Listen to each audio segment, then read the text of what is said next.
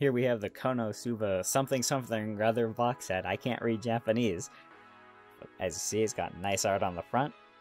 And we swing it around to the back for the information. It's also very nicely presented. Not in English though. Alright, and we open it up. It has this nice hinge system. I say nice, but kind of hard to get open sometimes. We have this book here. No artwork on the back, just logo. This contains some art for the game, some key art deeper into the book, and we have the game itself. And uh, that's uh, that's it.